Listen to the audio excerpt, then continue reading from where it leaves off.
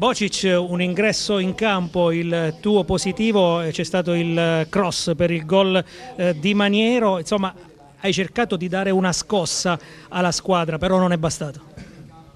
Sicuramente sono entrato ad aiutare i miei compagni, ho cercato di fare il 100%, speravo di fare qualcosa in più, di aiutare la mia squadra a pareggiare, anche vincere. Non è andata così e adesso dobbiamo pensare alla prossima partita e allenarci il 100% ogni giorno di allenamenti. È chiaro che giocatori con le tue caratteristiche non li avevamo visti la, il primo passo così rapido, puntare l'uomo e creare la superiorità. Sei stato forse un po' troppo poco utilizzato in questi primi mesi? Alla fine questa cosa non decido io, decide l'allenatore. Stavi sempre bene, eri sempre in condizioni? Io mi alleno al 100% a essere a disposizione della squadra, poi il mister decide chi giocare e chi non giocare. Sicuramente lui eh, avrà visto che devo ancora migliorare e sono sicuro che devo ancora migliorare e mi fido di lui ciecamente e so che lui mi potrà far crescere molto.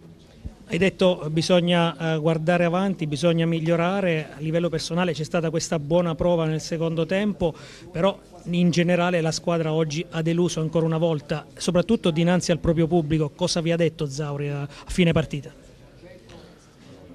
Sicuramente abbiamo, non abbiamo giocato come volevamo e noi in questo momento, come ho già detto, dobbiamo allenarci bene per eh, giocare bene la prossima partita contro il Pordenone e vincere. Ti chiedo l'ultima cosa, ti chiedo sulle tue caratteristiche, no? perché sei molto rapido, punti l'uomo.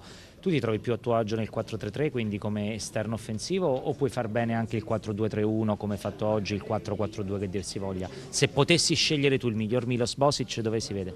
Bocic. Io non scelgo, per no, me... ma dove ti piace di più, una cosa così e non è polemica. 4-3-3, ma anche 4-2-3-1 va bene lo stesso.